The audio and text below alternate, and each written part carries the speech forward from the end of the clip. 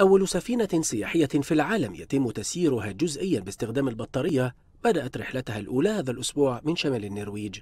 وبمقدور السفينة رولد أموندسن أن تحمل على متنها 500 راكب وهي مصممة كي تتمكن من الإبحار في ظل ظروف مناخية قاسية.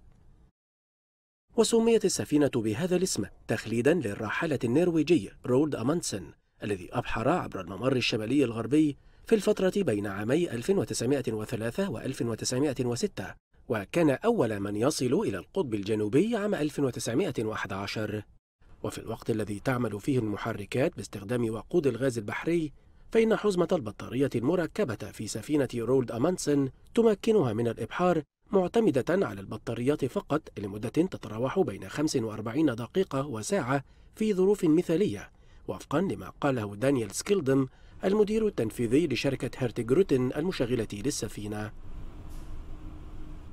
وتقدر الشركة أن حزمة البطارية المركبة في السفينة ستخفض استهلاكها للوقود وستوفر انبعاثات غاز ثاني أكسيد الكربون بنسبة 20% بالمقارنة مع الحالة التي يتم فيها تشغيل السفينة باستخدام وقود الغاز البحري فقط. وما زالت تكنولوجيا تسيير السفن بواسطة البطاريات في مهدها حتى بالنسبة للمسارات البحرية القصيرة.